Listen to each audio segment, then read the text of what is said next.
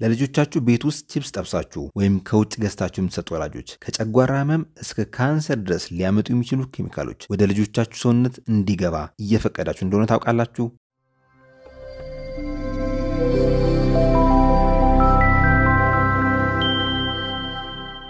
ጤና ይስጥልኝ። ዶክተር ፋሲል ነኝ፣ የህፃን ስፔሻሊስት ሐኪም። በዛሬ ቪዲዮ ስለ ቺፕስ እና ስለተጠበሰ ድንች አስደንጋጭና አዲስ መረጃ ይዤላችሁ ቀርቢያለው ይህ መረጃ በጣም አዲስ መረጃ ነው፣ አዲስ ግኝት ነው። ስለዚህ ይህ መረጃ ለብዙዎች ስለሚያስፈልግ ከእናንተ የሚጠበቅ ሁለት ነገር አለ። አንደኛ like ማድረግ፣ ሁለተኛ ቪዲዮን እስከ መጨረሻው ተመልክታችሁ ጥያቄዎቻችሁን comment ላይ አስፍሩልን። አብራችሁን ቆዩ። አሁን አሁን ብዙዎቻችን ቺፕስ almost ሱስ ሆነውብናል። ብዙዎቻችን ይቺ ኩርሽም ኩርሽም የምትለውን ወይም texture ኡን ወይም ደግሞ ጨዋማ መሆኑ በጣም እንወደዋለን። ስንበለው ራሱ በፍቅር ነው አይደለ? ከኛም አልፎ even ለልጆቻችን እንመግባለን። ልጆቻችን almost ሱስ ይዟቸዋል ማለት ይቻላል። Even ብዙ ወላጆች ለልጆቻቸው እንደ አንድ የምግብ አይነት ምሳቃ ውስጥ ይቋጠሩላቸዋል። እና ብዙ ወላጆችን ለማናገር ችዬ ነበር እና ይህ ነገር እኮ ምግብ አይደለም ለምንድን የምታስሩት ስላቸው፣ አይ ቺፕስ እኮ ቤት ውስጥ የተዘጋጀ ከሆነ ችግር የለውም ዘይቱ የቤት ነው ይሉናል። ዘይት የቤትና የውጭ የሚባል ነገር የለውም። ሲጀመር ማንኛውም ዘይት ረጅም ሰዓት ሙቀት ላይ የሚውል ከሆነ የሚንጨረጨር ከሆነ oxidized ይሆናል። Oxidized የሆነ fat ደግሞ trans fat ይሆናል። Trans fat ደግሞ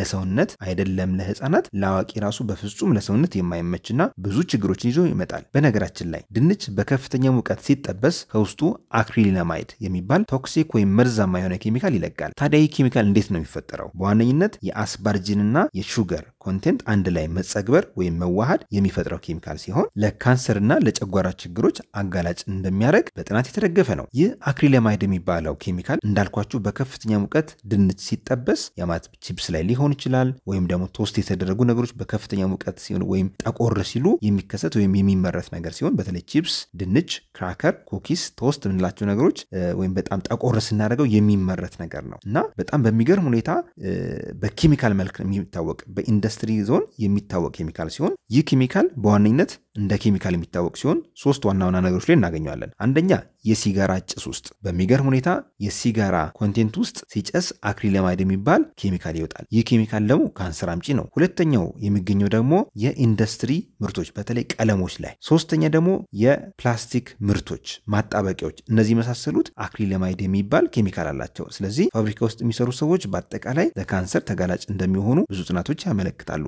በአራተኝነት ደረጃ ደግሞ በዋነኝነት የምገልጽላችሁ ምግቦች ውስጥ የሚከሰተው ወይም ከምግብ የሚገኘው acrylamide ነው። ከምግብ እንዳልኳችሁ የተጠበሰ ድንች፣ ቺፕስ፣ በተለይ ይሄ french fries የምንለው crackers የምንላቸው cookies፣ ወይም ደግሞ toast የሚደረጉ በከፍተኛ Toast የሚደረጉ ዳቦ፣ እነዚህ የመሳሰሉት የ acrylamide ይዘታቸው ከፍ ይላል። ይህ ኬሚካል በከፍተኛ መጠን በተደጋጋሚ የምንጠቀመው ከሆነ ወደ አየር ቧንቧችን ወይም ወደ አንጀታችን የሚገባ ከሆነ እስከ ካንሰር ድረስ ችግር ሊያስከስት ይችላል። በነገራችን ላይ ማንኛውም የተጠበሰ ነገር ለህፃናትም ሆነ ለአዋቂዎች አይመከርም። የተጠበሱ ነገሮች ስድስት ዋና ዋና የጤና ችግሮችን ያስከስታሉ። እነዚህም በዝርዝር ልንገራችሁ።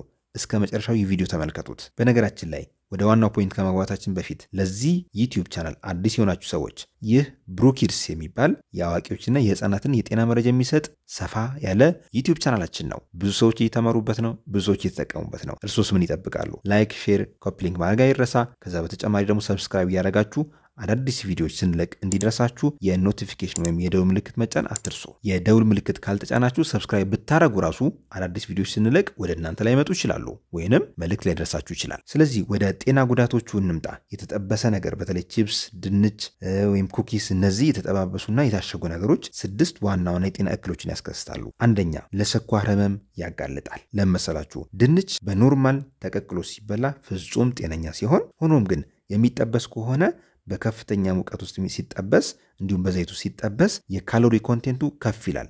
ማንኛውም ከፍተኛ ካሎሪ ያለው ምግብ ደግሞ ለስኳር ህመም ሊያጋልጥ ይችላል። ምክንያቱም በረጅም ጊዜ ቆይታ ሰውነታችን insulin resistance የሚባለው ነገር develop ያደርጋል። ያ ማለት ለአይነት ሁለት የስኳር ህመም ሊያጋልጥ ይችላል። ወይም type two diabetes ስለምንለው የስኳር ህመም ሊያጋልጠን ይችላል። ሁለተኛው ችግር ደግሞ ለአላስፈላጊ ኪሎ መጨመር ሊዳርጉን ይችላል። ማንኛውም የተጠበሱ ነገሮች ድንችን ጨምሮ calorie content ኣቸው ከፍተኛ ስለሆነ ዘይቱን በራሱ ደግሞ ከፍተኛ ስለሆነ የ calorie content ኣችን ከፍ ያደርጋል። ከፍተኛ ካሎሪ ያለው ምግብ ከተመገብን ደግሞ አላስፈላጊ ውፍረት ይመጣል። በዛ ምክንያት ደግሞ ስኳር ደም ግፊት፣ እነዚህ የመሳሰሉት ሊከሰቱ ይችላሉ። ሶስተኛ ጉዳት የተጠበሰ ነገር ሶስተኛ ጉዳቱ ምንድን ነው? ውስጡ ያለው ንጥረ ነገር በተለይ ደግሞ ፕሮቲኖች፣ ቫይታሚኖች፣ ሚኔራሎች በሙሉ denatured ይሆናሉ። ያ ማለት ይሞታሉ። ስለዚህ የሞተን ነገር እንደ መብላት ነው የሚቆጠረው እና ለሰውነት ምንም አይነት ጥቅም የሌለውን ነገር እንደ መብላት ነው የሚቆጠርባችሁ። ስለዚህ የተጠበሱ ነገሮችን አስወግዱ።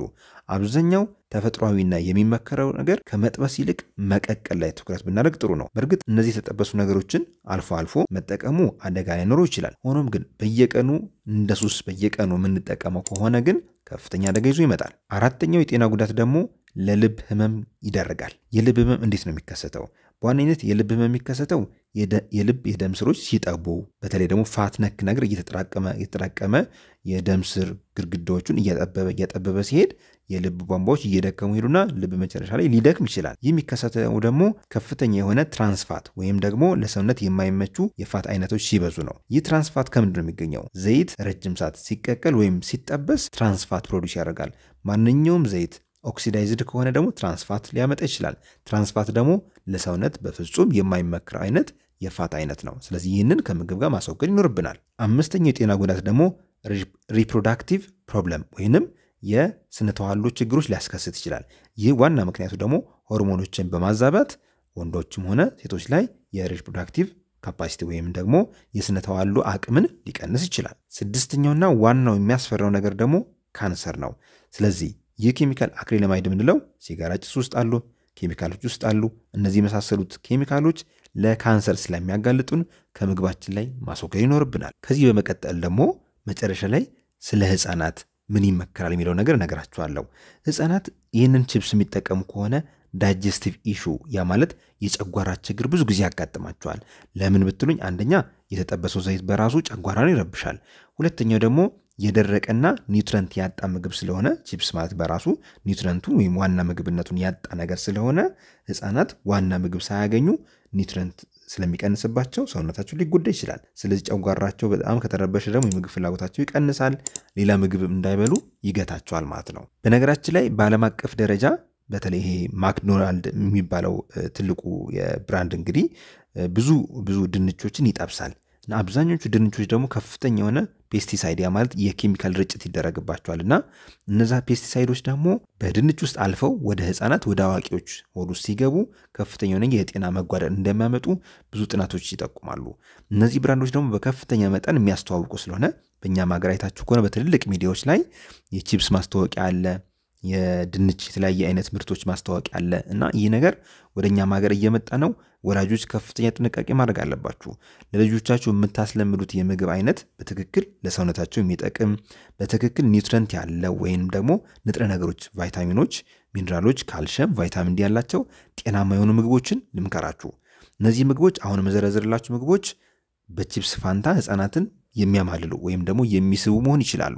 ለምሳሌ አንደኛ የአሳ ጥብስ ሊሆን ይችላል። ኩርሽም ኩርሽም የሚለውን ነገር የሚወዱት ከሆነ አሳውን ስጋ በተወሰነ መልኩ fried አድርጋችሁ በጣም ረጅም ሰዓት እሳት ላይ ሳታውሉት መስጠት ትችላላችሁ። ሁለተኛ ደግሞ pancake ኦች። pancake ስናዘጋጅ ከእንቁላል፣ ከወተት፣ ከፍርኖ ዱቄት ማዘጋጀት እንችላለን። እሱ ላይ ደግሞ ጣዕም እንዲኖረው ዘቢብ መጠቀም ትችላላችሁ። ትንሽ pancake ኦች ህፃናትን በጣም attract ያደርጓቸዋል።